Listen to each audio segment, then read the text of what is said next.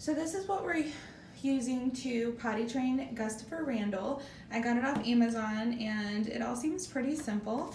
It came with everything that we needed except for they recommend you use flushable cat litter, which I also got on Amazon. They may have it in the stores, but you know, it's just easier. So it comes with one of these pans and um, it's got these different per, uh, perforated rings on it.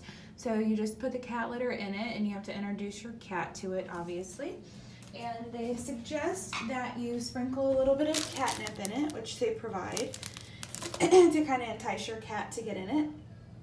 And in case your cat makes a mess or has an accident somewhere and you have to go backwards in your training process, they give you another one of these because eventually, um, as you can see, he's got all of the rings in it right now because he just started. But eventually you start to pop out these holes and make the hole bigger and bigger and bigger where eventually you take the entire thing off. So if you have to backtrack, they give you an extra one of these. And we keep treats nearby because they want you to make sure you're giving him reinforcement anytime that you notice he used the potty. But it comes with this handy dandy um, instruction book that's pretty detailed.